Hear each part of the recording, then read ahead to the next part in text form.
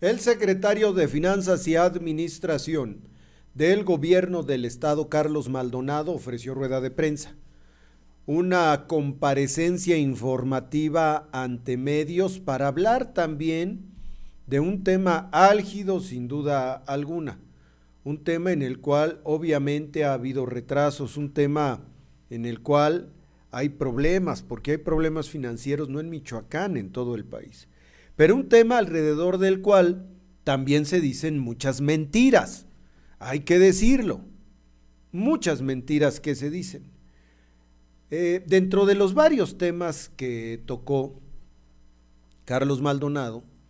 uno de ellos fue las manifestaciones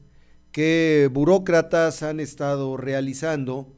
en donde alegan o aducen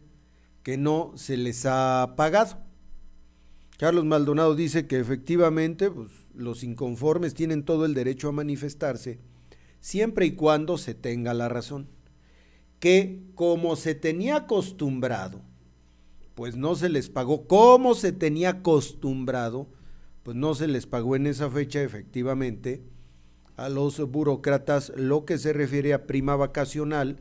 la segunda parte del aguinaldo y otras prestaciones.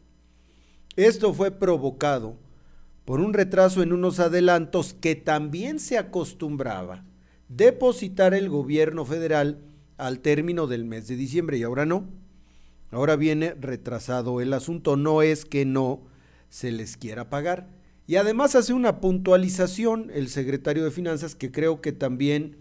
es muy conveniente y creo que también la deberían de tomar en cuenta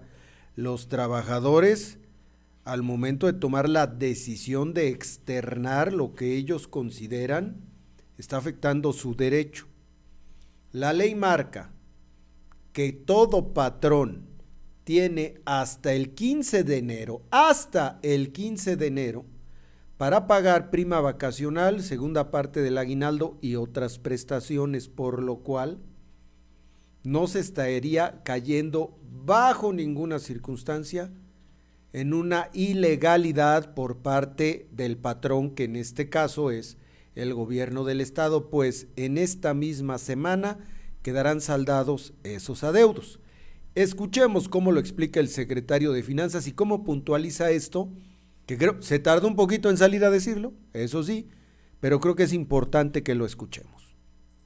Me parece que, y siempre hemos comulgado con el hecho de que quienes estén inconformes se manifiesten, siempre y cuando también esa manifestación esté acompañada pues, de la verdad. Y, la verdad es que es muy cierto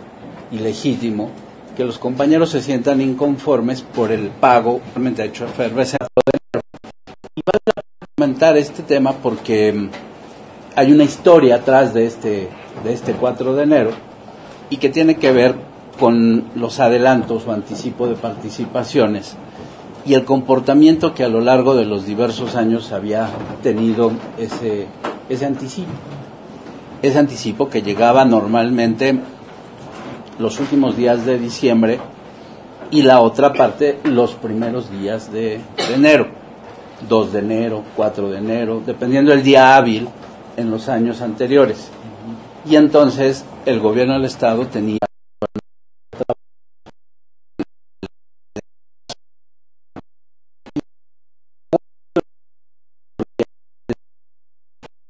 comportamiento de ese adelanto de participaciones en los años subsecuentes se ha venido modificando.